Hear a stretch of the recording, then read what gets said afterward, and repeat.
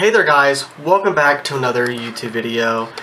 And I was just trying to think of a video and I couldn't really think of one, okay? But I did think of one. Top 5 settings you should change in Android. Number 1. Alright, this will be very simple. Now, sorry I gotta turn the light off. Alright, so what you want to do is go into your device's settings, just like I, I am right now and you go to a about phone. As you can see I literally don't care if my number's in here to be honest with you. Um, you click now everybody's is different but try to find something that says software. And if it doesn't have that then it's probably all in there just raw. You want to try to find something that says build number okay? And you click it a bunch of times until like it says you are a developer Yay! Um, and pretty much what you want to do is you have a new option called developer options.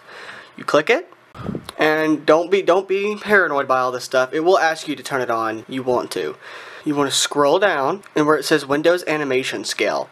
And what that is, it's like a little animation or like a fade every time you open an app. And if you turn it off, it will make your phone a lot faster. See, watch. I'm going to turn these on now. Oop, sorry. See now? You see how it slowly fades? See how it does a little animation? Now if I turn it off, look, it's instant. And if your phone is still slow, then that's just the raw speed of your phone. Your phone's just garbage but it does make your phone a little faster and you get to actually see your phone's raw performance. So yeah. Also I also recommend is to turn off turn on do not keep activities. Turn it on. Background process limit. Now, I would do standard limit, so like, because certain apps will not run properly if you have it on no background processes, so you need to have it on standard. Let's go to something else. Alright, I am back, and I'm at the home screen, if you can't tell. Um, and pretty much what you want to do now is, it could be different, you could have a little app launcher thing in the bottom, you could, you know, it's just different for everybody. But I swipe up to look at my apps, and let's just say like Instagram isn't working, right? Now this is a pretty common thing, and also the lines on my phone is because my phone's old. Alright, don't judge. But let's just say Instagram's not working. You can't get it to work, you're connected to Wi-Fi, it's just being funky. Now, on mine, I can hold down and get app info, but most people's phones will not do that. So you go to settings, and you want to find where it says applications or apps. Default apps permission manager.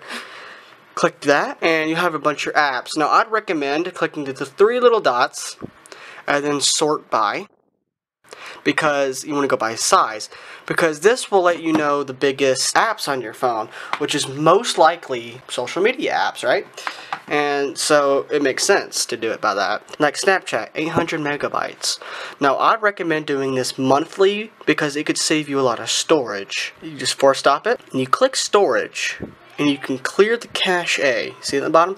Now it might be a little different for you, but it's it's still going to be on the screen. The button might be right here instead of right here. Um, and also, if you can move your apps to an SD card, do it. Note, it has to be a class 10 SD card, or some apps will not move properly. Instagram. Now, depending on how much you use the social media, the more the cache. And ca the cache is pretty much like images that are loaded constantly on your phone to ensure that it loads faster, but it really it puts a lot of strain on your phone. See, all the pictures I posted are saved in a little, like a little thumbnail type thing, but it, makes a lot of storage. So I've already cleared about 500 megabytes already, which is a lot for a phone, right? Now, if I go ahead and clear Facebook, yeah, you want to force stop it every time though. Alright, that's about another 100 megabytes. I don't know how much that was actually on that screen. Google also uses a lot. It, it just depends on what apps you use a lot. See, I haven't used Reddit at all this month on my phone because they do it on my computer, so it's in kilobytes. For Google though, in order for you to actually clear it, you have to click Manage Storage, and it will take you to the separate page. And I just do clear all data. There you go. It works like a charm. Yeah. Now, you could probably save over a gig a month if you do this, right? Chrome, if you use the browser app, I use the browser app a lot on this phone, so it really does um, hurt your phone a lot, and it makes the browser faster, or not faster, but it makes the browser run better if you do this daily. Now, just from those four apps, or five, I don't remember, uh, I saved about 800 megabytes. Isn't that just insane? Next tip. Okay, so also another way to save a lot of storage is doing this. Now, if you have a file manager app on your phone already pre-installed, that's the one you'll want to use because you do not want to erase important system files. Now, you can click internal storage, hold down one, and you see the little button that says all right there? You want to click it. No, this will delete everything, like not apps, but like especially your photos. Photos are normally stored in DCIM, so I'm just going to uncheck that for me. And then you click delete. Of course, I have trash. I don't know. Yours could be different, okay? But if I just click empty, it deletes everything internal storage except important files. So like it will keep important files. See, it won't, it, like watch, if I'll try to delete this, yeah, it won't let you. Um, now sometimes it will delete the folder, it what like it's still actually on there, makes it look like it's deleted so the user's happy. Like it's like some of the apps will do that so it makes it you know it's to keep it secure. Like the phone will not let you delete important system files just like Windows. I don't know if I have five. Oh yeah also how to pretty much okay. This is only for Android 9 and up I believe. And this is how to enable dark mode. A lot of people seem to have a problem with dark mode working, and it's pretty simple. All you have to really do is you just go up here, dark mode, and if it's not dark mode, try night. Of course, for some reason, oh, come on now. Oh, no, it is dark mode. Oops. So display dark mode.